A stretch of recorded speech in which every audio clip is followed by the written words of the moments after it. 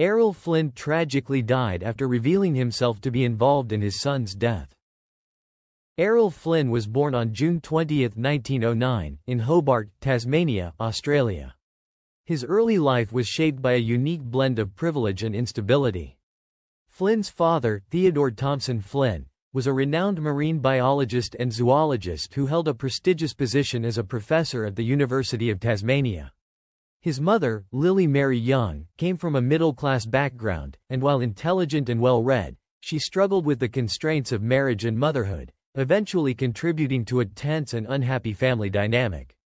Flynn grew up in a household that was intellectually stimulating but emotionally strained. The marriage between his parents deteriorated over time, and they eventually separated during Flynn's formative years. This turbulent family environment left a lasting impact on Flynn, influencing his later struggles with authority and his tendency to rebel against conventional expectations. Growing up in Hobart, Flynn attended the prestigious Hutchins School, known for its academic rigor and emphasis on discipline. However, Flynn was anything but the model student. From a young age, he exhibited a defiant and adventurous spirit, one that clashed with the formal atmosphere of the school. He was often in trouble for his rebellious behavior, including fights with classmates and disregard for school rules. His disdain for authority and his refusal to conform to the school's expectations eventually led to his expulsion. At just 14 years old, Flynn dropped out of school, cutting short any traditional academic path. Though he left Hutchins without formal qualifications, Flynn possessed a natural charisma and a thirst for excitement that would later define his life and career. After leaving school, Flynn found solace and inspiration in the rugged wilderness of Tasmania. Tasmania, with its untamed beauty, offered a playground for his adventurous nature. Flynn became an expert swimmer and diver, skills that would later serve him well in his swashbuckling film roles. He also developed a passion for sailing, learning how to navigate the sometimes treacherous waters surrounding the island. His time exploring Tasmania's wild landscapes gave Flynn a deep connection to nature and an appreciation for physical challenges, both of which shaped his persona as an action star. His love for adventure was insatiable, and he craved experiences that would take him far beyond the confines of Hobart. He later reflected on his desire to break free from his small-town life, saying, I wanted to escape from the humdrum, the monotony, the limitations of a small-town life in Tasmania. In 1927, at the age of 18, Flynn's wanderlust drove him to leave Tasmania behind and venture into the wider world. His first stop was Papua New Guinea, a land of vast opportunities and untamed wilderness. There, he worked as a tobacco planter and tried his hand at gold prospecting, an experience that was both challenging and dangerous. Papua New Guinea, still largely unexplored and wild at the time, was a place where Flynn could immerse himself in the kind of rugged adventure he craved. His time in the country exposed him to the rough and tumble lifestyle of pioneers and fortune seekers, and Flynn developed a reputation for his daring and often reckless behavior. He got involved in bar fights, faced near-death experiences, and even dabbled in small-time trading. These adventures fed his growing appetite for excitement, but they also showcased his restless spirit and inability to settle into a conventional life. When Flynn wasn't in Papua New Guinea, he spent time in Sydney, Australia, where he tried to break into the entertainment industry. He worked a series of odd jobs, including as a lifeguard and a chiffon, to support himself while pursuing his dreams. Flynn's good looks and natural charm helped him make connections in Sydney's social circles, but his efforts to establish himself as an actor were initially met with little success. Undeterred by early setbacks, Flynn continued to chase adventure both on and off the screen. His time in Sydney was marked by constant hustle and a yearning for fame and recognition. By 1933, at the age of 24, Flynn realized that if he wanted to make a serious go at acting, he needed to expand his horizons beyond Australia. He moved to England, hoping to find work in the burgeoning British film industry. However, the transition to life in England was not easy. Flynn struggled financially, living in cheap accommodations and taking on whatever work he could find, from stagehand jobs to performing in small repertory theater productions. He honed his craft in these modest productions, gaining valuable experience that would serve him later in Hollywood. Despite his hardships, Flynn was persistent, and his natural talent eventually caught the attention of Warner Brothers, a major film studio that was scouting for new talent. Flynn's big break came in 1935 when he was cast in the British film Murder at Monte Carlo. While the film itself was not a major success, it marked Flynn's debut on the big screen and gave him a taste of the acting world he had long desired to be part of. Soon after, his career took a dramatic turn for the better when he was cast as the lead in Captain Blood, a swashbuckling adventure film that would define the rest of his career. Released in 1935, Captain Blood was a massive hit and introduced Flynn to American audiences as the quintessential action hero. His portrayal of the dashing pirate cemented his reputation as a Hollywood star, and the film's success propelled him into a series of similarly adventurous roles. In the years that followed, Errol Flynn became one of the most popular and successful actors in Hollywood, starring in a string of hit films that cemented his legacy as one of the era's most iconic stars. His rise to fame was marked by a unique combination of qualities that set him apart from many of his peers. With his strikingly handsome appearance, complete with a chiseled jawline, piercing eyes, and a debonair demeanor, Flynn captivated audiences around the world. His magnetic charm, both on and off the screen, contributed to his reputation as a quintessential leading man. Flynn's screen presence radiated charisma, making him a natural fit for roles that required equal parts swashbuckling heroism and sophisticated allure. Additionally, he was renowned for his skill with a sword, which became a hallmark of his performances, particularly in adventure films. Flynn's athleticism and grace in action scenes were unmatched, and his ability to make complex swordplay look effortless contributed significantly to his success. Flynn's most iconic performances came in the adventure films The Adventures of Robin Hood, 1938, and The Seahawk, 1940, both of which are remembered as quintessential examples of Hollywood's golden age. In The Adventures of Robin Hood, Flynn portrayed the legendary outlaw with such vigor and panache that his interpretation remains definitive to this day. His Robin Hood was more than just a daring hero. He was a figure of wit and heart, a swashbuckler who could laugh in the face of danger while remaining deeply committed to his cause of fighting tyranny. Flynn's ability to bring humor to the role, alongside his dynamic action sequences, gave the character a multi-dimensionality that audiences adored. The film's technicolor brilliance, grand set designs, and masterful direction helped it become one of the biggest box office hits of its time, solidifying Flynn's status as Hollywood's leading action star. Even decades later, The Adventures of Robin Hood remains a cultural touchstone, often cited as one of the greatest adventure films ever made. In The Seahawk, Flynn once again demonstrated his extraordinary talent for portraying larger-than-life heroes. Set against the backdrop of the Spanish Armada and the reign of Queen Elizabeth I, the film showcased Flynn in the role of Geoffrey Thorpe, a privateer loyal to the English crown. The Seahawk was a masterclass in the swashbuckling genre, with Flynn delivering a performance filled with action, intensity, and charm. His portrayal of Thorpe blended patriotism with personal courage, making him an idealized figure of heroism during a time when audiences craved escapist entertainment, especially as World War II loomed. Flynn's swordsmanship and athletic prowess were again on full display, with carefully choreographed action scenes that thrilled viewers.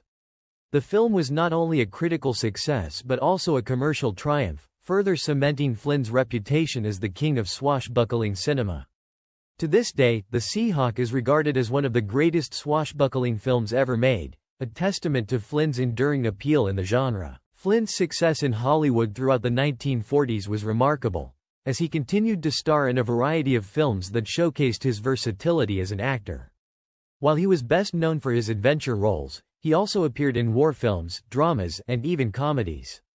Despite the evolving trends in cinema, Flynn maintained his popularity due to his star power and ability to connect with audiences. His performances exuded confidence and charm, making him a beloved figure on the big screen. As Hollywood's golden boy, Flynn's name became synonymous with high-adventure films, and his presence alone could draw large crowds to theaters. Even as new stars emerged, Flynn's legacy remained strong throughout the decade, proving that his appeal was not fleeting but rather deeply ingrained in the public's imagination. Outside of his film career, Errol Flynn was as famous for his tumultuous personal life as he was for his acting. Known for his rakish persona off-screen, Flynn lived a life filled with romantic entanglements, scandal, and controversy. He was married three times, but none of his marriages were without their difficulties, reflecting the chaotic nature of his personal relationships. Flynn's first marriage was to French actress Lily Damita in 1935, a union that was marked by intense passion but also frequent conflict. Damita was a glamorous and temperamental figure in her own right, and their marriage was fraught with arguments and jealousy. The couple had one son, Sean Flynn, but their relationship eventually broke down, leading to a bitter divorce in 1942. The split was acrimonious, with legal battles over money and custody further complicating their already strained relationship. Flynn's second marriage to actress Nora Eddington in 1943 was similarly troubled. Eddington was much younger than Flynn, and their relationship was often overshadowed by Flynn's erratic behavior and continued infidelity. They had two daughters together, Deirdre and Rory Flynn, but the pressures of Flynn's lifestyle, along with his excessive drinking and womanizing, took a toll on the marriage. By 1948, their union ended in divorce, with Eddington later reflecting on the difficulties of being married to someone as unpredictable and self-destructive as Flynn. However, Flynn's most scandalous and infamous relationship was with Beverly Aadland, a teenager who was just 17 years old when they began dating. Flynn, in his mid-40s at the time, carried on a secret affair with Aadland, which would later become one of Hollywood's most notorious scandals. The relationship became public in 1959 when Flynn suffered a fatal heart attack while in the company of Aadland, who had recently turned 18. The two had been staying in Vancouver, Canada, where Flynn was planning a film project. Flynn's death, compounded by the revelation of his relationship with a much younger woman, sent shockwaves through the media. While Aadland remained loyal to Flynn until his death, their relationship was widely criticized, and it remains a controversial chapter in Flynn's personal life. Flynn's reputation as a ladies' man, combined with his often self-destructive tendencies, created a lasting image of a man whose personal life was as tumultuous and dramatic as the roles he played on screen. Errol Flynn's private life was as controversial as it was captivating. Known for his swashbuckling roles in Hollywood, Flynn also lived a life filled with excess and scandal. His daughter, Grace Flynn, later confirmed the long-circulating rumors about her father's tumultuous private life. Behind the charm and rugged handsomeness that made him a film icon, Errol Flynn struggled with deep-seated issues, including addiction, legal troubles, and a lifestyle that often spiraled out of control. One of the most pervasive aspects of Errol Flynn's personal challenges was his battle with addiction. He was notorious for his excessive drinking, which often led to erratic behavior both on and off the set. His love for alcohol was well known in Hollywood, where his hard drinking habits became part of his infamous reputation. Flynn also reportedly dabbled in drug use, further complicating his already chaotic lifestyle. The pressures of fame, combined with his volatile personality, resulted in numerous public outbursts and moments of bad behavior that were frequently covered by the press. His off-screen persona as a hellraiser overshadowed his on-screen charisma, and his unpredictable conduct alienated many in the industry. Flynn's addiction problems worsened over the years, affecting his ability to work consistently and perform at the level that had once made him a superstar. As his drinking grew more excessive, it began to take a toll on his health and his appearance, leading to erratic performances. Despite this, he continued to secure roles, but his personal life was often a mess, marked by destructive relationships and tumultuous affairs. Perhaps the most damaging event in Flynn's personal life was the 1943 trial in which he was accused of statutory rape by two underage girls. The trial, which was covered relentlessly by the media, became one of the most scandalous legal battles in Hollywood history. Flynn's glamorous and bad boy image made the accusations all the more shocking to the public. The proceedings revealed salacious details about Flynn's private life, portraying him as a man who engaged in risky and questionable behavior. The trial took a significant toll on Flynn, not just emotionally but also in terms of his public image. Though he was acquitted of the charges, the damage to his reputation was profound. Flynn's defense argued that the accusations were exaggerated or opportunistic, and his acquittal was a relief to his fans and colleagues. However, the trial cast a long shadow over his career. Even though Flynn was legally cleared, the public perception of him as a womanizer and a man of questionable morals lingered. This incident marked a turning point in his life, after which he was never able to fully regain the status he once held as one of Hollywood's most beloved leading men. In the final years of his life, Flynn's health began to deteriorate rapidly due to his years of substance abuse. The heavy drinking and drug use that had once been part of his persona as a Hollywood bad boy had now taken a severe toll on his physical well-being. He began to suffer from a variety of ailments, including liver damage, heart problems, and chronic pain. Despite these challenges, Flynn continued to work in Hollywood, although his once vibrant screen presence was now a shadow of what it had been. Flynn's personal life during this period was fraught with financial and legal troubles. He had squandered much of his fortune on his extravagant lifestyle, and by the time of his death, he was facing significant debt. His relationships also remained turbulent, and although he tried to maintain a career, the combination of his failing health and personal issues made it increasingly difficult for him to do so. On October 14, 1959, at the age of 50, Errol Flynn died in Vancouver, Canada, from a heart attack. His death came as a shock to many, as he had been a larger-than-life figure whose fame had once seemed impervious to decline. The entertainment industry mourned the loss of Flynn, and his passing marked the end of an era in Hollywood.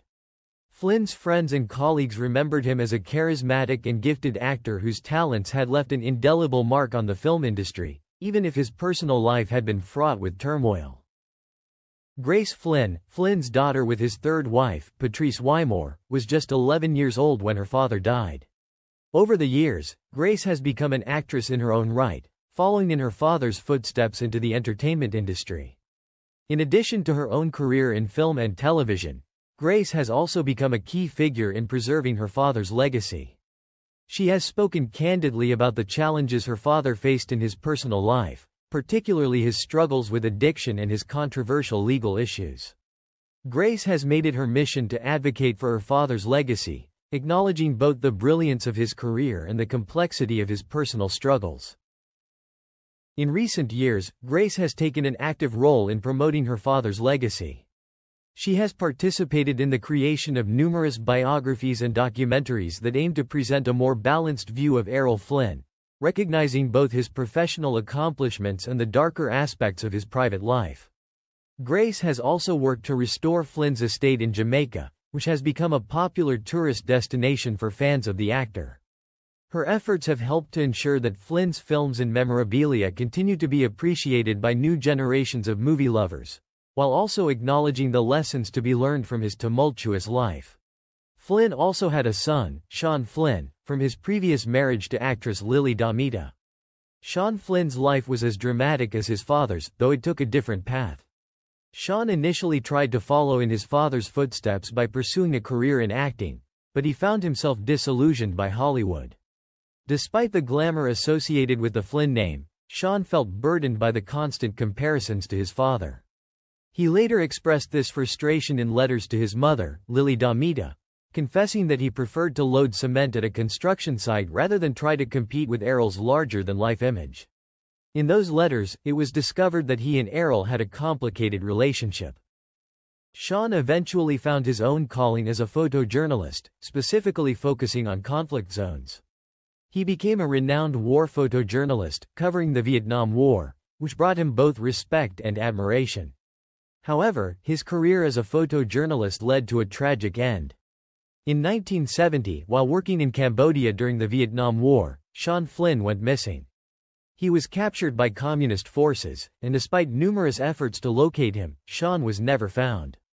In 1984, he was declared legally dead, though the exact circumstances of his disappearance remain a mystery.